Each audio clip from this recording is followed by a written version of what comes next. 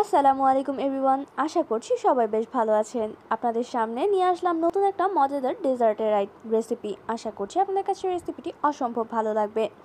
আমার আজকের রেসিপি সাবুদানার কাপ পুডিং। আশা করছি রেসিপিটি যদি ভালো লাগবে, রেসিপিটি ভালো লেগে থাকলে অবশ্যই কমেন্ট করে জানাবেন। কথা না বাড়িয়ে চলে যাচ্ছি মূল রেসিপির দিকে। আর চ্যানেলটি সাবস্ক্রাইব করতে অবশ্যই ভুলবেন না। প্রথমে আমি সাবুদানাগুলোকে একটু সেদ্ধ করে নিব, তার জন্য চুলায় গরম পানি দিয়ে নিয়েছিলাম। গরম পানি যখন একটু ফুটে আসবে তখন এর মধ্যে দিয়ে দিচ্ছি হাফ কাপ পরিমাণ সাবুদানা। এবার পাঁচ থেকে দশ মিনিট এটা নেড়ে চেড়ে একটু অপেক্ষা করব, মোটামুটি সেদ্ধ হয়ে আসা পর্যন্ত। পুরোপুরি সেদ্ধ করব না, প্রায় এইটটি পার্সেন্ট সেদ্ধ হয়ে গিয়েছে, দেখতে পাচ্ছেন। দশ মিনিট কিংবা সাত আট মিনিটের মধ্যেই এটা সেদ্ধ হয়ে যাবে। আপনাদের কিন একটু কম বা বেশি সময় লাগতেই পারে। এবার এটাকে একটা স্ট্রেনারে ঢেলে নিচ্ছি, এরপর পানি দিয়ে ভালো করে এটাকে ধুয়ে নিতে হবে। আপনারা যদি গরম থাকা অবস্থায় এভাবেই রেখে দেন, সেক্ষেত্রে কিন্তু সাবুদানাগুলো দলা পাকিয়ে যেতে পারে। আর এদিকে কিন্তু একটা কড়াইতে আমি অলরেডি দেড় লিটারের মতো দুধ জাল করে নিয়েছি, জাল করে একটু কমিয়ে নিয়েছি। তারপর এর মধ্যে দিয়ে দিয়েছি হাফ কাপ পরিমাণ চিনি। চিনিটা আপনারা আপনাদের পরিমাণ মতো অবশ্যই দিবেন। নেড়ে চেড়ে চিনিটা একটু গলে আসা পর্যন্ত অপেক্ষা করে নিচ্ছি। চিনিটা যখন গলে আসবে, এর মধ্যে দিয়ে দিচ্ছি আগার আগার পাউডার আপনারা চাইলে জেলিটিন পাউডার ব্যবহার করতে পারেন, কিন্তু আমার বিশ্বাস আগার আগার পাউডারটার মতো জেলিটিনটা কাজ করবে না।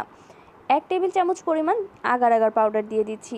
আগার আগার পাউডার যত ভালো কাজ করে, জেলিটিন কিন্তু ততটা ভালো কাজ করে না, তাই অবশ্যই আগার আগার পাউডারটাই দেওয়ার চেষ্টা করবেন। এর মধ্যে দিয়ে দিচ্ছি স্বাদ মতো একটু লবণ, কারণ মিষ্টি জিনিসের লবণটা না দিলে কিন্তু পারফেক্ট সেই টেস্টটা পাওয়া যায় না। এবার নেড়ে চেড়ে দুই এক মিনিট একটু অপেক্ষা করে নিয়েছি, মোটামুটি একটু বলক চলে আসা পর্যন্ত যখন একটু ফেনা ফেনা হয়ে আসবে উপরে, তখন সেই সাবুদানাগুলো দিয়ে ভালো করে নেড়ে চেড়ে নামিয়ে নিয়ে আসতে হবে।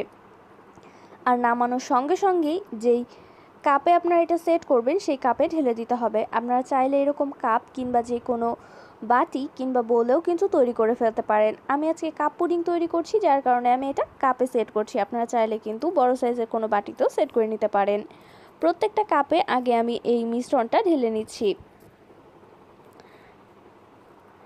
ঘরে তৈরি আমি কিছু জেলি তৈরি করেছিলাম। জেলিগুলো জাস্ট পানির মধ্যে সামান্য একটু চিনি আর আগার আগার পাউডার দিয়ে দিলেই হয়। আর সাথে আপনাদের পছন্দ মতো কিছু ফুড কালার দিয়ে এরকম জেলি তৈরি করে নিতে পারেন।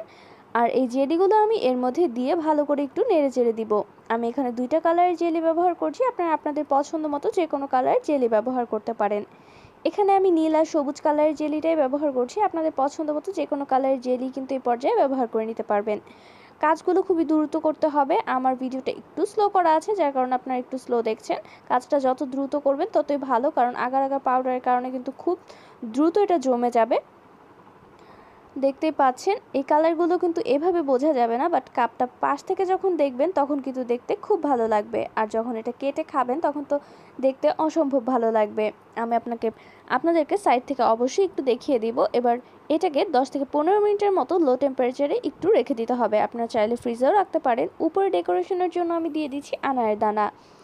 আপনাদের কাছে এটা না থাকলে স্কিপও করতে পারেন, কিন্তু দিয়ে দিলে দেখতে অসম্ভব সুন্দর লাগবে। আনারের দানাগুলো দিয়ে দিলাম। 10 থেকে পনেরো মিনিটের মতো এটা সেট হওয়ার জন্য রেখে দিচ্ছি। সাইডটা দেখতেই পাচ্ছেন কি সুন্দর কালার হয়েছে। এটা যখন পুরোপুরি সেট হয়ে যাবে, তখন এটাকে আপনাদের কেটে একটু দেখাচ্ছি। আপনারা চাইলে কিন্তু এটা সেট হওয়ার জন্য কিছুক্ষণ ফ্রিজেও রাখতে পারেন। দেখুন, আমি আপনাদের একটু কেটে দেখাচ্ছি জিনিসটা কতটা সুন্দর হয়েছে দেখতে, ভিতরটাও। বাসায় কোনো গেস্ট চলে আসলে কিন্তু হুট করে এই ডেজার্টটা আপনারা তৈরি করে তাদেরকে দিতে পারেন। আশা করছি তারাও বেশ পছন্দ করবে। ঘরে থাকা স্বল্প কিছু উপকরণ দিয়ে তৈরি করে ফেলা যাবে এই রেসিপিটি আশা করছি ভালো লেগেছে। চ্যানেলটি সাবস্ক্রাইব করে পাশে থাকবেন আর ভিডিওটি শেয়ার অথবা লাইক দিতে একেবারেই ভুলবেন না। সবাই ভালো থাকবেন, সুস্থ থাকবেন। ভিডিওটি আজকের মতো এখানেই শেষ করছি। নতুন কোনো ভিডিও নিয়ে আবারও দেখা হয়ে যাবে। আসসালামু আলাইকুম।